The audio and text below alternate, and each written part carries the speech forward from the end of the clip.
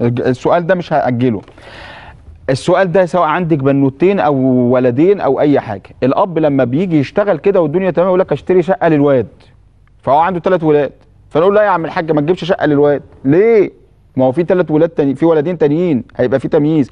قال لك لا ما أنا عندي ثلاث شقق هكتب لكل ولد شقة. دي حلال ولا حرام؟ دي حلال اسمها هدية الأب لأبنائه بس ما يميزش بين الأبناء. فهي عندها شقتين هتكتبها لبناتها. هي ما عندهاش ولد طبعا. فأخواتها يقولوا لها لا ده أنت كده بتحرمينا من الميراث. ليه كده يا ست سلوى؟ لا دي اسمها عطية الأم لبناتها. وأقول كلام كمان على ضمانتي.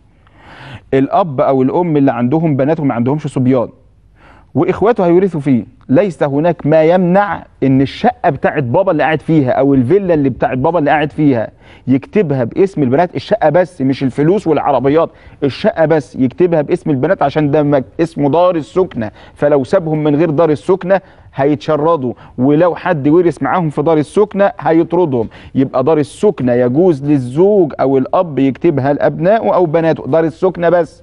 إنما الرصيد اللي في البنك يفضل زي ما هو يتوزع على الورثة عادي والعربيات تفضل زي ما هي تتوزع على الورثه عادي. طب أنا عندي عمارة حضرتك. أكتبها لكل بنا... لبناتي بقى لا. برضه لا. تكتب لكل بنت أو كل ولد شقة. وما تبقى ميراث. طب ليه بقى كل بنت لأن دي اسمها عطية أب. وعطية الأب لا يراجع فيها أحد بشرط ألا يميز بين الأبناء.